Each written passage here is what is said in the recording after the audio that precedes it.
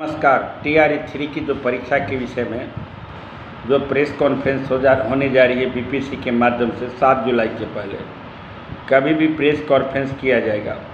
इस press conference में यह बात की मुझे जानकारी मिली है, भाषा आहारता को समाप्त कर दिया गया है। बहुत लड़के पूछ रहे थे कि टी आर थ्री में पी टी मेन्स होगा। स्पष्ट शब्द में जान लीजिए टी आर थ्री में पी टी और मेन्स पी टी नहीं होने जा रही है। कोई भी नया नियमावली लागू होगा।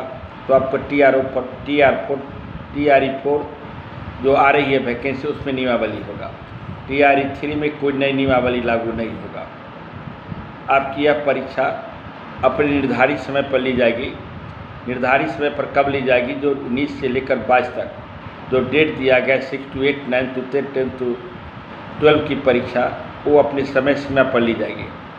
जो लड़के टीचर की परीक्षा की तैयार कर रहे हो, पूर्णतः उस पर जुड़ जाइए।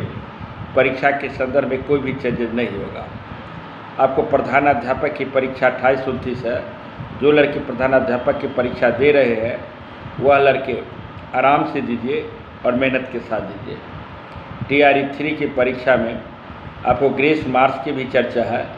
हो सके grace marks T R E three में, जो प्रत्येक साल पच पच नंबर है, मैक्सिमम पच्चीस नंबर तक ग्रेस मार्क्स दिया जा सकता है। वह किसके लिए ग्रेस मार्क दिया सकता है, जो पहले से कार्यरत है?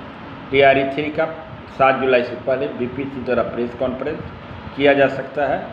उस नियत समय पर परीक्षा होगी। इसमें पीटी का प्रावधान नहीं है। सिंगल मेंस की परीक्षा होगी। फिर मिलते हैं अगले वीडियो में। जय हिंद, जय भारत।